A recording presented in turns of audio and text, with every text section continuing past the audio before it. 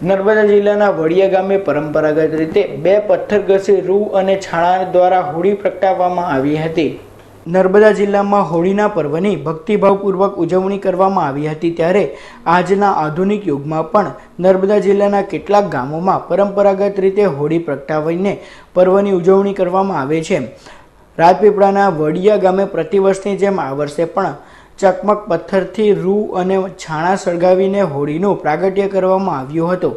આદિમાનવ વખતે કોઈપણ પ્રકારની માચિસ કે કેમિકલની શોધ થઈ ન હતી, પરંતુ જે વર્ષો પહેલાં હોળીને બે પથ્થર ઘસીને અગ્નિ પ્રગટાવવામાં આવતી હતી તે રીતે જ આજના આધુનિક યુગમાં પણ નર્મદા જિલ્લાના કેટલાક ગામોમાં આ રીતે જ હોળી પ્રગટાવવામાં આવે છે.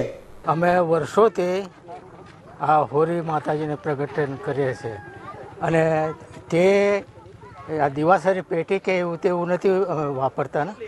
અને ચકમક સોઈટું અને તે તનખાતે ઝરે અને ત્યાર પછી અગ્નિ પ્રગટ કરીએ છીએ એટલે અગ્નિ પ્રગટ કરીને પછીને ને માતાજીનું એ કરીએ છે. પરા પૂર્વથી અમારા બાપ દાદાઓ બી આ જ રીતે એ કરતા હતા.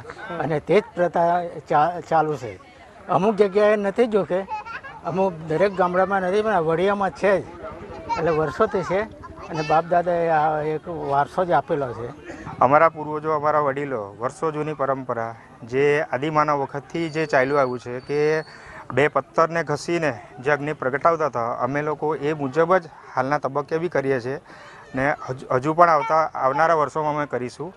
અને હોળી પ્રાગટ્ય જે ચકમક એને કહે છે અમારી ગામડાની ભાષાની અંદર કે ચકમકથી બે પથ્થર ઘસીને પછી એનું રૂ હોય છે, રૂ પર લેવાનું, પછી એના પાન હોય છે, જે જુવારના પાન હોય, કડબના પાન હોય, જે હોય, એનેથી અમે પવનથી હલાવીને, મતલબ કે હાથથી હલાવીને અમે હોળી પ્રાગટ્ય કરીએ છીએ.